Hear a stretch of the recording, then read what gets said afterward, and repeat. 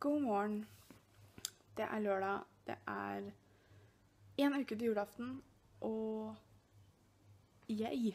Um, I dag så er det bare litt sånn hand siste handling av Kjæresten skal få tak i de siste julegavene. Vi skal Hva er det annet vi skal? Vi skal pynte juletreet hans. Så vi skal out and about litt først. Og så er det bare å eh, få ordna hei hjemme hos han etterpå. Så det blir bare en stille og rolig jo, Ikke julaften. En stille og rolig lørdag. Men jeg skal hente Pia på jobb klokka seks. Så dere kommer til å se oss litt sammen. Vi fikk tak i alt vi skulle ha. Petter fikk også tak i denne massive esken som han skal Eller som jeg skal pakke inn eh, julegaven hans til bestefar i. For han har kjøpt en ganske stor gave til bestefar. Vi var også innom Pia, fordi Pia sendte oss en melding og lurte på hvis vi var i nærheten, om vi kunne ha, eller komme innom henne med noe å drikke. Så det gjorde vi, så det var koselig å se Pia litt. Jeg skal hente henne etterpå, så det er ikke så farlig. Uh, dobbel guro. eller så farlig. Men det var koselig å se henne i hvert fall. Så vi fikk vært overalt. Det var masse folk ute i dag. Men sånn er det jo før jul. Hello! vi er sammen for å åpne julekalendere. Så Guro kan åpne først. Er du bildet? Det er jeg. jeg. Jeg spiser også en karamell. Mm. 17 er en sånn svær luke. Uh.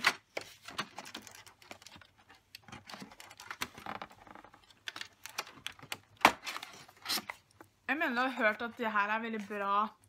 Jeg tror um, eh, Fleur liker de der veldig godt. Og de, altså de, det var ikke noe sånn veldig, altså de var jo dramatiske, men de var jo faktisk veldig bra. De her var veldig sånn typisk sånn hvis du er nettopp begynt med eyelashes, liksom, og så får du med lim. Vi må bare bli flinkere til å sette det på, vi. Ja, det er liksom det, da. For det er ikke jeg. Kult, kult, kult. Gleder meg, gleder meg. Men se så få luker det er igjen nå.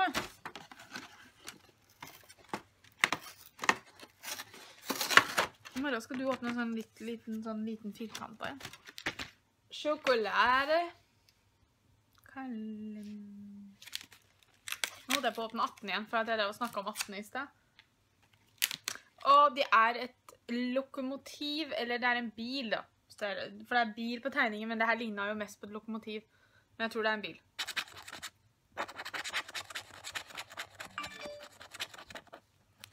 Nei, det ble ikke noen penger, men det ble en julekugle. Vår første julekugle.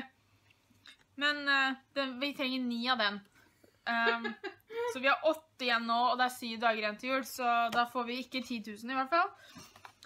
Skuffende. Men, men. Sjokoladekalender.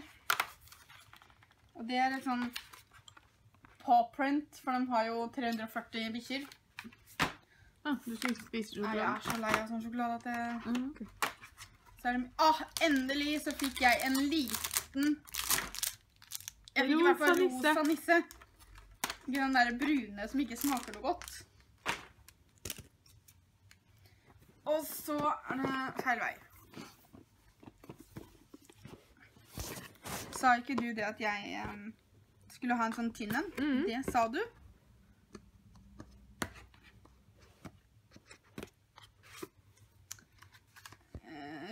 Buff yourself beautiful. Oh. Betyr det at man får en sminkekos til, tro? Det var vanskelig å si. Ja. Kult! Jeg vet ikke helt om jeg vil liksom Altså, buff Det der er ikke noe buffing brush sånn sett, men OK. Nei, det har vært et par av de der eh, som ikke har så veldig mye med saken å gjøre, tror jeg. Altså, det som hadde vært bra inni der hvis de skriver 'buff your skin beautiful', er jo for det første om det hadde vært en skin brush, eh, eller om det hadde vært en buffing brush. Men det der er jo en øyenbrynskost. Men jeg liker det- det- den uh, It's a good thing. OK.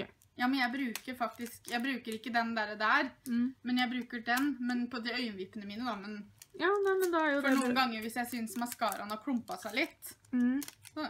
så bruker jeg den til å bare gre gjennom Pia har begynt den eh, fine oppgaven med å rydde inni her.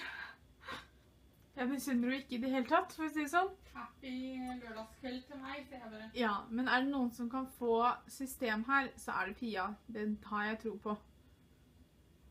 Så Nei da, så nå bare holder vi på å prøve å få ut blogginnlegget. Blogginnlegget er lagt ut. Blogginnlegget er lagt ut. Kjæresten kjøpte mini-marshmallows til mamma i går. Fordi jeg og Pi har en kakaooppskrift som dere kommer til å se til uka. Som vi lagde til dem, og da Jeg vil ikke si at mamma klagde, men hun etterspurte mini-marshmallows. Og det hadde vi ikke. Så når vi var i Sverige, så kjøpte Petter da mini-marshmallows, for det syntes han at mamma skulle ha. Han kjøpte da altså Doritos med sweet chili pepper, og den ligger nå hos oss, så den skal jeg ta med tilbake til Petter nå når jeg skal tilbake.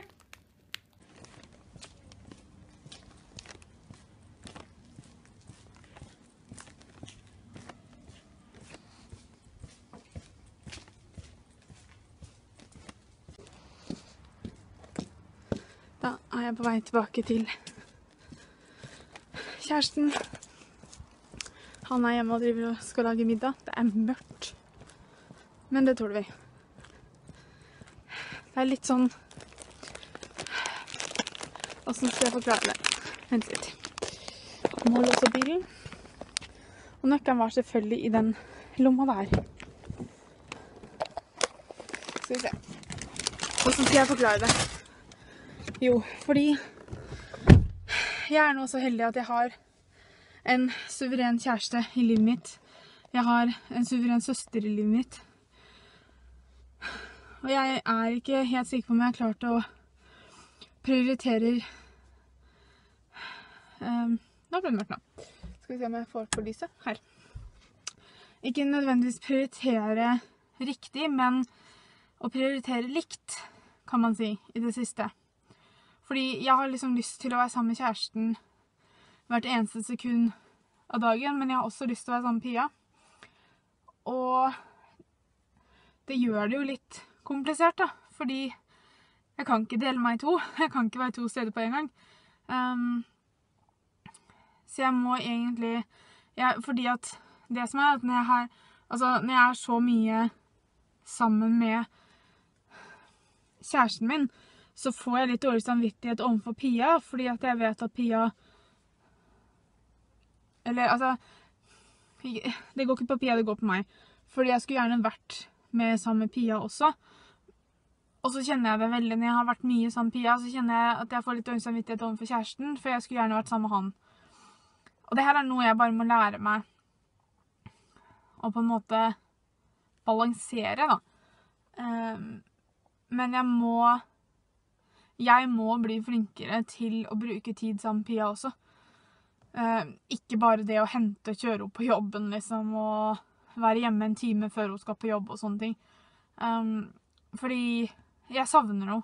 Jeg savner Pia. Jeg, jeg savner å være sammen med Pia. Og vi er jo sammen fordi vi jobber mye med YouTuben og sånn. Men uh, jeg tror jeg må virkelig bli flinkere til å balansere de to personene jeg har i livet mitt som betyr mer enn noe annet, liksom.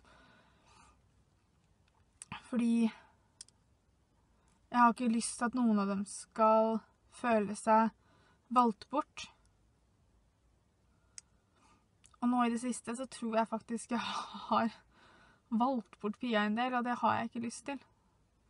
Fordi Pia er bestevenninna mi, liksom. Pia er best Altså, Pia betyr så mye for meg.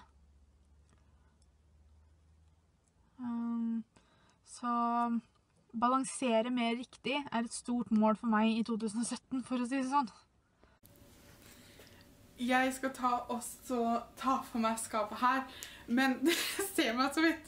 Men det er fordi at jeg må filme med eh, kamera som vi filmer videoene på. For at jeg får ikke satt fra meg telefon noe sted som vinkelen passer til skapet. Hvor skal man begynne hen, da? Jeg tror jeg gjør det sånn at jeg begynner på den siden først, og så tar jeg den siden etterpå. Her har vi couscous. Det visste ikke jeg at jeg likte før jeg fikk det uh, servert hos uh, Grim og Thea. Og det var faktisk overraskende godt. Uh. Det her derimot har jeg lite tro på at det er godt. Men det er noe vi kan smake, eller Um, Det kan noe som kan være greit å ha første uka i januar når vi skal være veganere. Vi har også to av den derre Den thai curry um, gryta her. Vi har ikke smakt den før, så jeg vet ikke hvorfor vi har to, men det var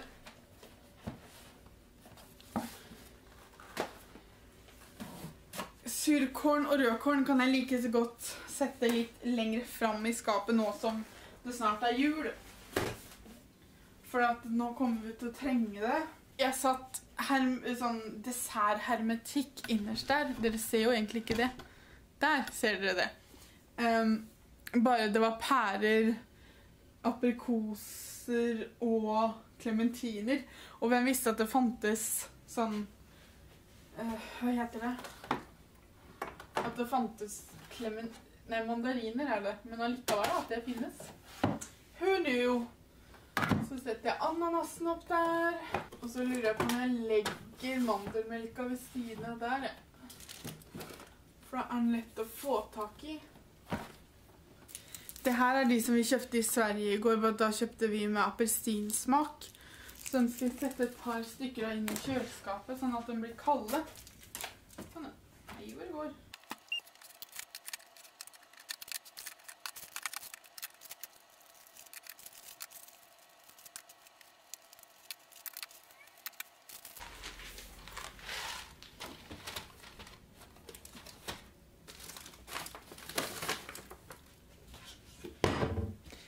Jeg må spise middag! Jeg skal egentlig få redigert en video, men jeg finner ikke det vi har filmet til. Jeg skjønner ikke hvor vi har gjort av det. Hmm. Jeg kan ikke fatte og forstå hvor vi har klart Jeg trodde liksom det lå på den boksen sammen med alt annet. Det kan hende det fortsatt ligger på minnekortet, at det, er, at det ligger der. Øh, egentlig har jeg ikke lyst til å redigere video i det hele tatt. Jeg er sliten, men det å redigere en video er øh, ikke det største problemet, liksom. Det, er jo ikke akkurat som det tar en hel haug med energi å redigere videoen, men I are made mye sense. Jeg skal også vise det, for jeg ble bare ferdig med halve skapet før jeg skulle spise. Men jeg gjorde litt. Det tels. Men hvor er minnekortet, da?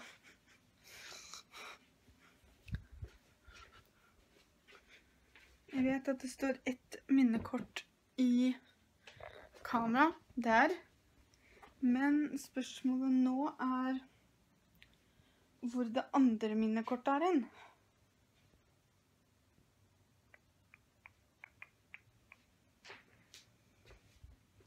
Alltid moro. Jeg vet jo at Der. Ha-ha! Fant det. Så Sånn, ja. Hei, hvor det går, sier jeg bare.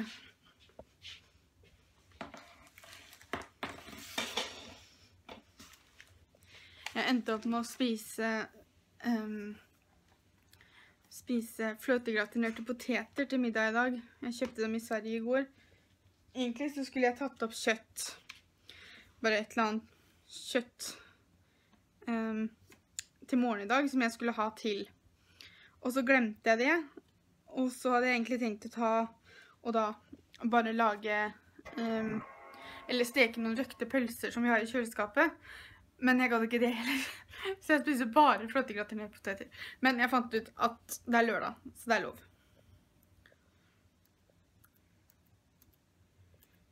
Jeg håper det er på det minnekortet her. Ellers så vet jeg ikke helt hvor vi kan ha gjort av det.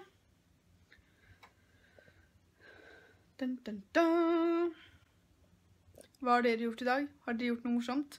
Har dere fått handla Er dere ferdig med julegavene? Det vil jeg gjerne vite. For nå er det én uke til julaften i dag. Nå er klokka halv ni. Om en ukes tid så er sikkert vi ferdig med å åpne julegavene her, i hvert fall. Men er dere ferdig med julegaver? Har dere mange igjen? Har dere ikke begynt engang?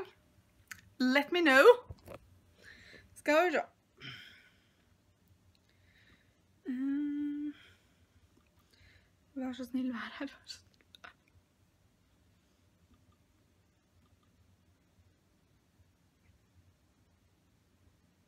Kom igjen. Jeg ser i hvert fall at det er Det er flere filer her. Den var med Guro, så jeg tror ikke det er den. Kan det være den her? No. Mm, Da må det være den her, da. Her. Ha-ha! Ja I found it. Normalt sett så ville jo jeg sagt at det skulle bli deilig med en fridag i morgen. Men en fridag er det ikke. Vi har søndagsåpent i butikken i, morgen. Vi hadde det forrige søndag men da jobba jeg ikke med. Jeg skal jobbe i morgen. Så den helga her er det ikke akkurat en fridag, men vi er oppe bare fra to til seks. Så for det første så begynner jeg ikke tidlig, og for det andre så skal jeg bare jobbe fire timer. Pluss at jeg skal jobbe sammen med Arta, og hun, jeg har det veldig koselig når jeg jobber sammen med henne, så det gjør ikke noe. Jeg er ferdig med å redigere videoen. Det gikk overraskende kjapt, og det var litt deilig. Så nå sitter jeg bare og ser på eh, den nyeste sesongen av Fuller House. Jeg er litt seint ute, for nå har han jo vært Han har vært ute siden 9. 9. desember, tror jeg han kom. Men jeg har bare ikke hatt muligheten til å sette meg ned og se på det før nå. Så jeg har kommet halvveis i episode to, og jeg Altså, jeg storkoser meg. Det er jo så bra. Altså, det er Det er liksom sånn Det er rein underholdning. Altså For jeg elska jo Full House originalserien, så jeg digger på en måte det at, at du får se disse karakterene en gang til. Litt tidlig kvelden i dag, siden det har blitt litt lite søvn i det siste. Så jeg sier eh, takk for i dag, og så ses vi i morgen. Ha en flott siste søndag i advent. Herregud, det er snart, det er snart jul.